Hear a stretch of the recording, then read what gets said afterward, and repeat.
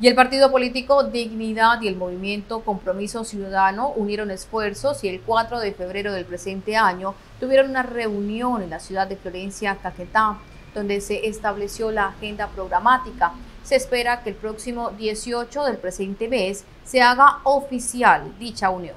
Queremos informarle que el próximo 18 de febrero se va a realizar en la ciudad de Bogotá un congreso para darle origen al nuevo partido en Colombia que se va a llamar Dignidad y Compromiso y que allá se va a aprobar los estatutos, el programa y las juntas directivas que van a direccionar este proceso. Para el caso del departamento del Caquetá y más específicamente en Florencia, vamos a realizar el próximo 25 de febrero el informe, las conclusiones y las tareas de ese evento nacional. Ya con el nuevo partido tendremos un primer compromiso que es participar en las elecciones del mes de octubre que se realizarán en este presente año.